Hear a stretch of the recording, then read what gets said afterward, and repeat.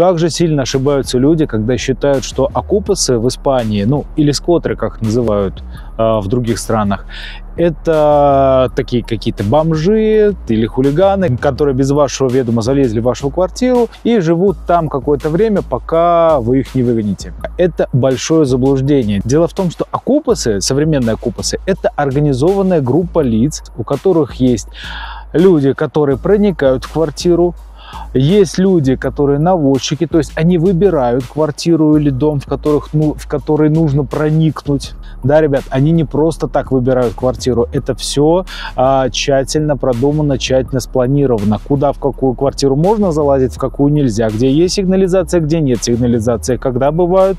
А, люди э, в квартире, когда их не бывает, в каком статусе находятся, кто хозяин квартиры. Это все дело пробивается до того момента, пока окупасы еще не проникли в недвижимость, не проникли в квартиру или в дом.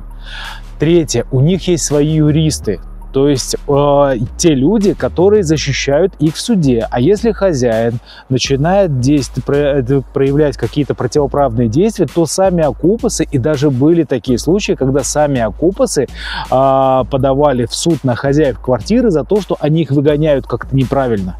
А как выгоняют окупасов, причем очень быстро, я вам расскажу в следующем видео.